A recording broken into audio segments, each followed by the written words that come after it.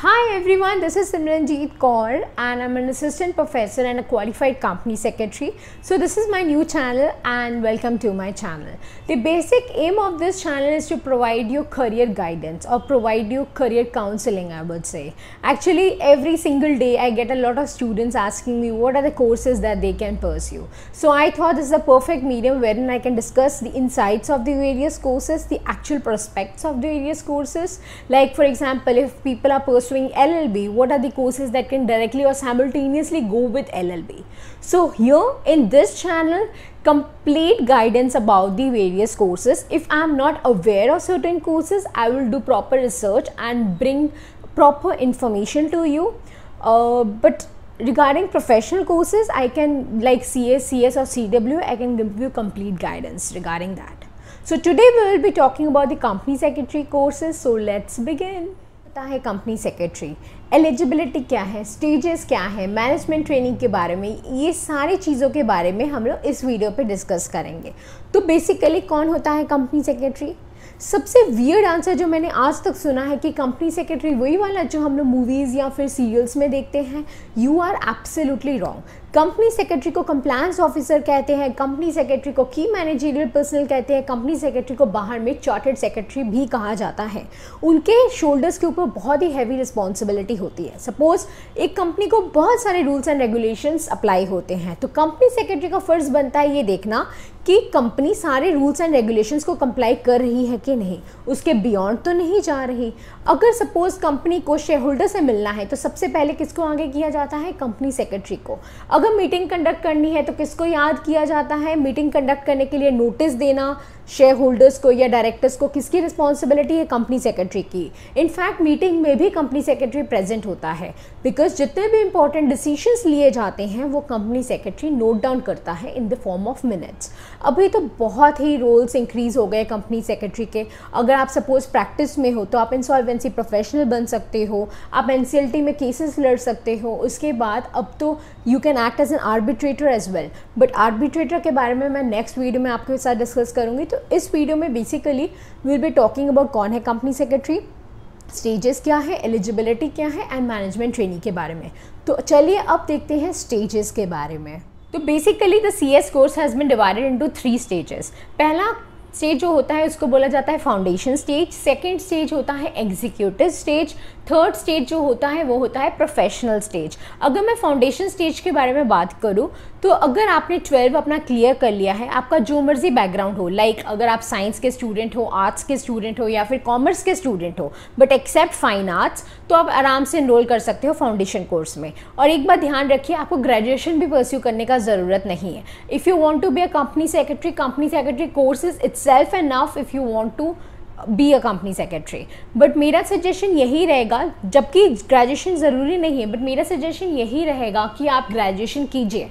मतलब आप B A B com B S C या फिर एल एल बी में इनरोल कीजिए एंड साथ ही साथ आप सी एस का कोर्स भी परस्यू कीजिए। आप फाउंडेशन आराम से क्लियर कर सकते हो because all the C S stages are the correspondent stages तो आराम से you can clear it and after clearing the foundation stage then you you will be taken to the executive stage तो आपको executive stage का exam देना पड़ेगा।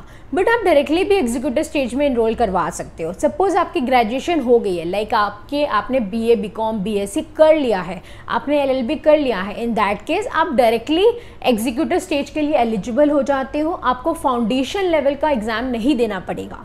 तो ये होता है कि आप डायरेक्टली भी इनरोल करवा सकते हो एग्जीक्यूटिव स्टेज में।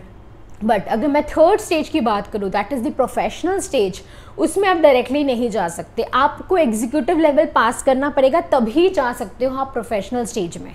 और एक इंपॉर्टेंट बात, अगर आप C A that is chartered accountancy pursue कर रहे हो, और आपने चार्टेड चार्टेड अकाउंटेंसी का पहला stage that is C P T अगर आपने सी पी टी क्रैक कर लिया है तो in that case also you can directly enroll yourself for the executive level executive stage of the cs but professional you have to clear your uh, this uh, executive stage and then only you can appear for the talking about the management training part अगर आपने foundation exam that is the first stage of C S crack कर लिया है in that case आपको तीन साल की management training करनी पड़ेगी।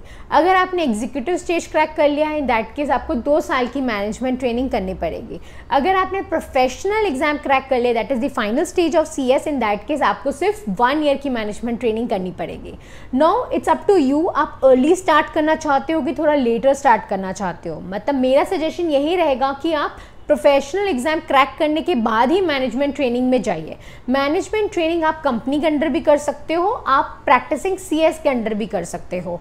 और मेरा, मैंने ये सजेशन इसलिए दिया बिकॉज़ जो मैनेजमेंट ट्रेनिंग का टाइमिंग होता है it is basically from ten to five और ten to six that is the office timing and studies along with job gets a bit difficult So my suggestion would be go into management training only after doing a professional course.